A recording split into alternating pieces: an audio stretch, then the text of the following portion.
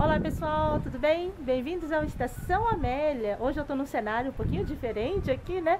Mas esses prédios que vocês enxergam aqui atrás, ó, é a cidade de Londrina, aqui no Paraná, que fica no sul do Brasil.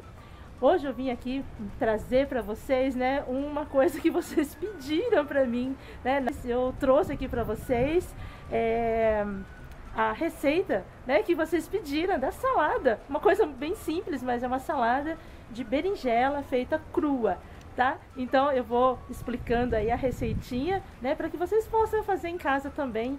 É bem fácil e bem gostosa. Bem refrescante aí pro verão agora, ok? Quem não assistiu o vídeo da berinjela, né, que o meu pai produz aí na horta do Dichan, eu quero que vocês cliquem aqui, assistam esse vídeo, né? Onde o Dichan ensina aí a, a podar as berinjelas para que dê bastante berinjela num, plantada num vaso, ok?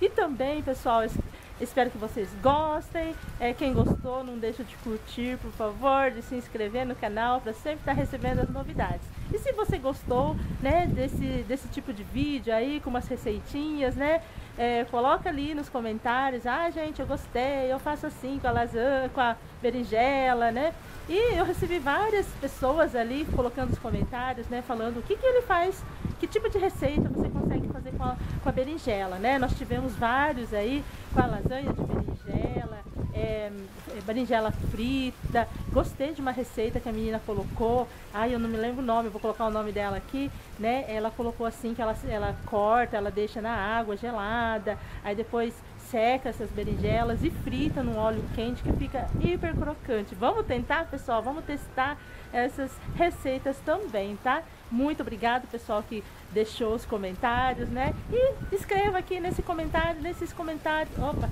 escreva aqui também, né? Se você gostou dessa receitinha, se você gostaria de receber mais receitinhas aí também, de acordo, né, com as verduras produzidas na horta do Tchá. Então, sem mais delongas, vamos aí à receita.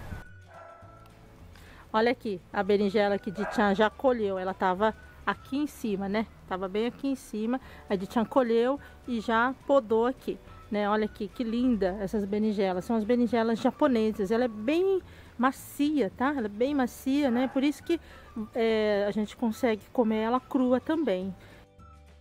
Então, vamos lá a receita. Você vai pegar a berinjela, você vai cortar em fatias bem finas. Eu dividi a berinjela ao meio e cortei ela bem fina mesmo. E coloquei numa água com sal, né? Você mergulha ela na água com sal e deixa ali reservado.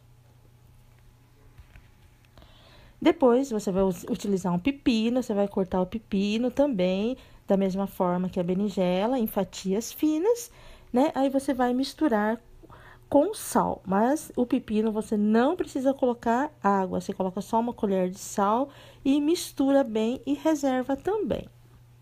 Agora, a cebola, você vai cortar as cebolas em fatias bem fininhas.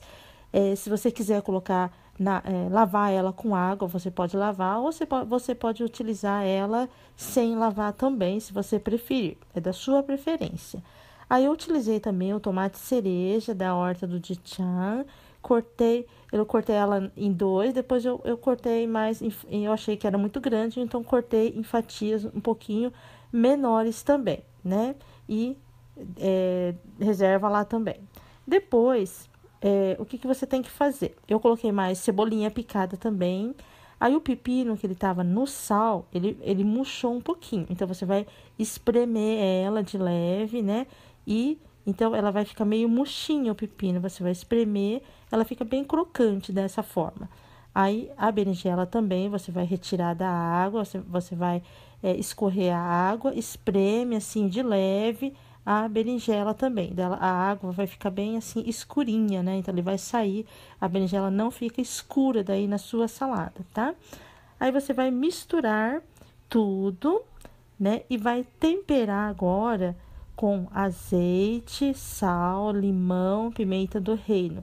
E eu coloquei um pouquinho de água também, é, bem pouquinho mesmo de água nessa mistura, né? Do, do tempero e depois eu misturei tudo dentro de uma de um bowl, de uma, uma, uma bacia, né? Misturei bem para ficar bem temperadinha mesmo, enfeita com folhas de alface e pronto para você levar à sua mesa. Então, pessoal, espero que vocês tenham gostado. Olha aqui que coisa linda tem aqui para quem é fã aí de, de orquídeas, né? Essa é, eu não sei se chama orquídea bambu, né? Mas é uma orquídea, é uma orquídea plantada chão. Olha que bacana aqui, né? E tá com bastante florzinha. Olha isso, que lindo! Pessoal, muito obrigado por ter assistido até o final, né? E escreva aí nos comentários se você gostou, não gostou, tá? E se você não gostou, se deu um dislike aí, escreve para mim por que que você deu dislike. A gente assim, a gente consegue sempre ir melhorando, não é verdade?